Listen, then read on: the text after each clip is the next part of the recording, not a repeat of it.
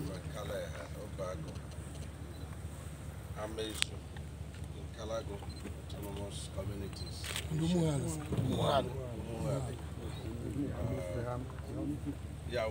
Autonomous Community. Uh, local government by uh, AK uh, 47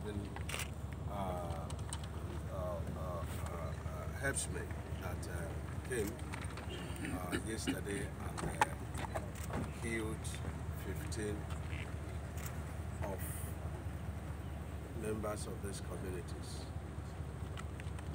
I remember that about a year ago, we had an incident of uh, killing of uh, two men uh, within this same location. And immediately the security agencies, local government chairman, and the community leaders all came together to condemn the attack and the killing. And uh, we immediately asked the security agencies to fish out the uh, people that did that. They didn't do it on behalf of the communities. And they did fish them out. And uh, as we talked, they standing trial in Ebonyi State. And uh, the community and uh, the government and security agencies appeased the uh, herdsmen uh, and uh, made peace with them. And so it is very shocking that overnight all the herdsmen uh, in uh, Ishielu local government vacated Ishielu local government, which means that the local herdsmen are part of the conspiracy of the killing of our people. They vacated despite all the efforts that uh, my government, governors of Southeast and security agencies have been making to give them full protection, uh, not only in Ebonyi State, but the entire Southeast. We feel so sad that this kind of thing should happen to Ebonyi State. We feel so worried for our country, Nigeria. We, we, we, we, we are short of words and uh, uh, good enough we have some traces of uh, the sponsors, we have traces of those who came here. Uh, I will not disclose it, but I'm going to escalate the uh, identities of the people to the highest authority uh, and uh, we wait to see what they will do. But we condemn this attack.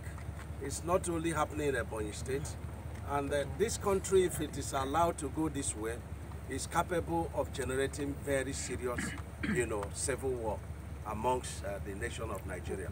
So I want to demand from the security uh, chiefs to fish out these people because they are well known. Fish them out, let them face the wrath of the law. It has happened in so many places and they were not fished out to uh, face the wrath of the law and that's why this kind of thing is happening. I want to appeal to uh, the people of these communities, uh, be assured that we will get them, each and every one of them. We have the identities, we have their connections, we have uh, uh, the contact. Please stay calm and do not take laws into your hands. Two wrongs will never make a right.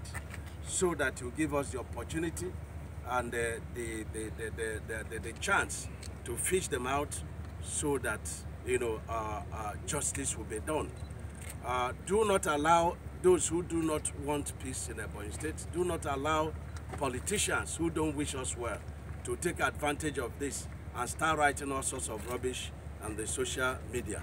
I'm so sad about what has happened because we worked so hard for the peace of this state, for the peace of Southeast and for the peace of this nation. So it's so sad and I want Nigerians to condemn what happened in Ebonyi State today and we will not take it lightly. They must be fished out for us to stay in peace. And uh, I want to ask the herdsmen uh, uh, in uh, Ishielu local government uh, that have departed, I want to demand that they know them because they left the uh, local government without uh, uh, any complaints, without telling the security agencies or even the government that has been protecting them. So they know them very well, and we also know these herdsmen that departed with our knowledge. So it's a total conspiracy. It is well orchestrated plans to kill our people. And uh, we demand justice. We demand justice. We demand justice. We demand justice. Thank you very much. Thank you. Thank you.